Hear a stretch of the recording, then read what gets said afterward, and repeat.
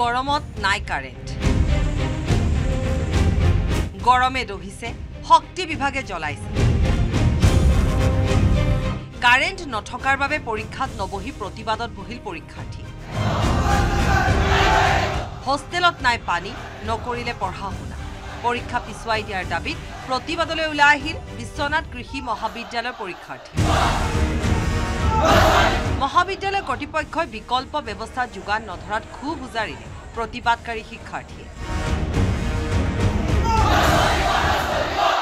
আচলতে আমাৰ পৰীক্ষা আছিলে কিন্তু পৰীক্ষাত প্ৰিপেৰেশ্যন কৰিব পৰা নাই তাৰ কাৰণে আমি কৰ্তৃ- কৰ্তৃপক্ষক অনুৰোধ জনাইছিলোঁ যে পৰীক্ষাটো প্ৰস্পন হ'ব নেকি কিন্তু কোনো ধৰণৰ ব্যৱস্থা গ্ৰহণ নকৰিলে আমাৰ কাৰণে গতিকে তাৰ কাৰণে আমি ইয়াতে একলগ হৈ আজি এই চৰম পৰ্যায়ে ল'ব লগা হৈছে কাৰেণ্টৰ প্ৰব্লেম আছে আমাৰ আহ, পানীৰ প্ৰব্লেম আছে ইমানখিনি অসুবিধা থকাৰ পিছতো আমি ছাৰসকলৰ ওচৰত এটা জেনুইন ৰিকুৱেষ্ট লৈ আহিছিলোঁ কিন্তু আমাৰ অতি বেয়া লাগিছে যে ছাৰে উল্টাই আমাকে দুখ দিছে सैटरडे से ही हम लोग को बहुत ज़्यादा इलेक्ट्रिसिटी का प्रॉब्लम हो रहा है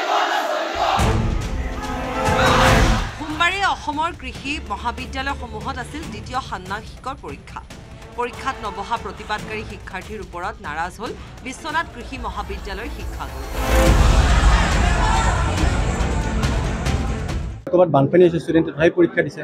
আমিতো ইয়াত তেওঁলোকক যিখিনি পৰা সুবিধা দিছোঁ যে তেওঁলোকে প্ৰিপেয়াৰ্ড হোৱা নাই এইটো তেওঁলোকৰ নিজৰ কথা তেওঁলোকে কিয় প্ৰিপেয়াৰ হোৱা নাই। এতিয়া অথৰিটিৰ ফালৰ সদায় ষ্টুডেণ্টৰ কিবা কিবি গ্ৰিভেঞ্চ থাকে এইটোতো সচৰাচৰ কথা। আৰু গভৰ্ণমেণ্ট ইনষ্টিটিউশ্যনত যিমানখিনি পাৰা যায় চৰকাৰৰ ফালৰ পৰা সেইখিনি সুবিধা দিয়া হৈছে। ইয়াৰ মাজতে নিশা ঘটিল আন এক অঘটন। বিশ্বনাথবাসীক সকাহ দিয়াৰ চেষ্টা অব্যাহত থকাৰ সময়তে বিস্ফোৰিত হ'ল ট্ৰান্সফৰ্মাৰ।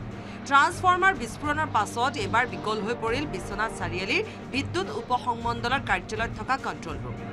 বিদ্যুৎ সেৱা বিঘ্নিত হোৱাৰ বাবে নাজল নাথল অৱস্থা হৈছে বিশ্বনাথবাসী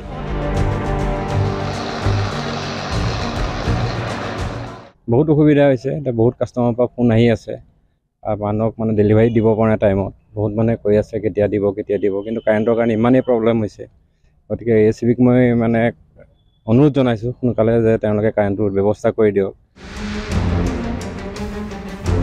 বিগত তিনিদিনে বিকল হৈ আছে বিশ্বনাথ চাৰিআলিৰ পাৱাৰ হাউচ ইফালে শক্তি বিভাগৰ বিৰুদ্ধে প্ৰতিবাদলৈ ওলাই আহিল জামুগুৰিহাটৰ ডৌকা চাপৰি গাঁৱৰ ৰাইজ। গাঁওখনত কাৰেণ্ট থাকে যদিও কম ভল্টেজৰ বাবে গাঁওবাসীয়ে চলাব নোৱাৰে বৈদ্যুতিক ফেন।